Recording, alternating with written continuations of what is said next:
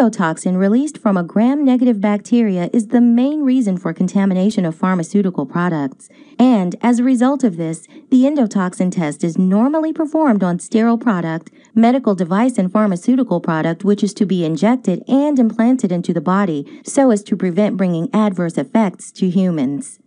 So, why do we use this test? Sterile pharmaceutical products may get contaminated with endotoxins. During the sterilization process, using heat method, gram-negative bacteria that might be present in the product will be killed and lysis will occur. The endotoxin will release and remain in the product. Example of the conditions under which sterile products get contaminated with the endotoxins include during water purification for WFI, during production, during DNA isolation, vaccine production, during toxoid isolation, vaccine production, by pyrogenated vials, IV, IM, pediatric. Therefore, testing for endotoxin is mandatory for the confirmation of safe manufacturing and release of pharmaceutical products.